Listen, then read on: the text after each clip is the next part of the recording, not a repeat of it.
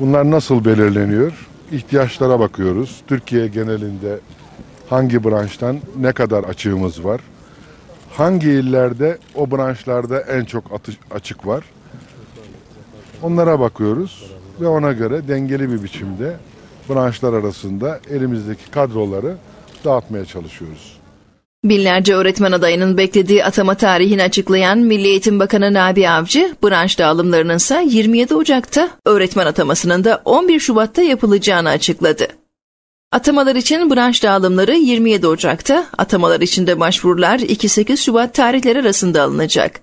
Milli Eğitim Bakanı Nabi Avcı, atanan öğretmenlere verilecek oryantasyon eğitimlerini, öğretmenlerin isteklerine bağlı olarak bulundukları ya da atandıkları ilde alabileceklerini söyledi. Oryantasyon eğitimlerini alacak öğretmenlere deneyimli öğretmenlerin danışmanlık edeceğini belirten Bakan Avcı, meslekte en az 10 yılı tamamlamış öğretmenlerimizden danışman tayin ettiklerini vurguladı. Ataması yapılacak öğretmenler değişik okul türlerinde değişik öğretmenlerin dersine girecek, atamaları yapıldıktan itibaren maaşlarını almaya başlayacaklar.